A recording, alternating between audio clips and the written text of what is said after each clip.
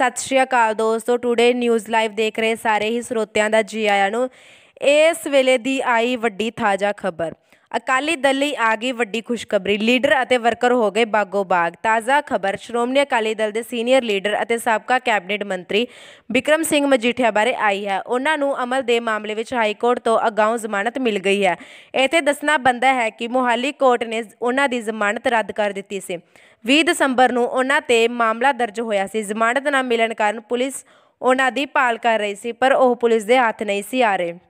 ਜਿਸ ਕਰਕੇ look out ਵੀ ਜਾਰੀ ਕੀਤਾ ਗਿਆ ਸੀ। ਹਾਈ ਕੋਰਟ ਨੇ ਵਿਕਰਮ ਸਿੰਘ ਮਜੀਠੀਆ ਨੂੰ ਬੁੱਧਵਾਰ 11 ਵਜੇ ਜਾਂਚ ਟੀਮ ਸਾਹਮਣੇ ਪੇਸ਼ ਹੋਣ ਲਈ ਕਿਹਾ ਹੈ। ਅਦਾਲਤ ਨੇ ਅਗਲੀ ਸੁਣਵਾਈ 18 ਤਰੀਕ ਦੀ ਪਾ ਦਿੱਤੀ ਹੈ। ਅਦਾਲਤ ਦੇ ਇਸ ਫੈਸਲੇ ਨੂੰ ਸ਼੍ਰੋਮਣੀ ਅਕਾਲੀ ਦਲ ਲਈ ਵੱਡੀ ਰਾਤ ਸਮਝਿਆ ਜਾ ਰਿਹਾ ਹੈ। ਚੋਣ ਕਮਿਸ਼ਨ ਵੱਲੋਂ ਵਿਧਾਨ ਸਭਾ ਚੋਣਾਂ ਦਾ ਐਲਾਨ ਕਰ ਦਿੱਤਾ ਗਿਆ ਹੈ ਅਤੇ ਚੋਣ ਜ਼ਾਬਤਾ ਲਾਗੂ ਹੋ ਗਿਆ ਹੈ।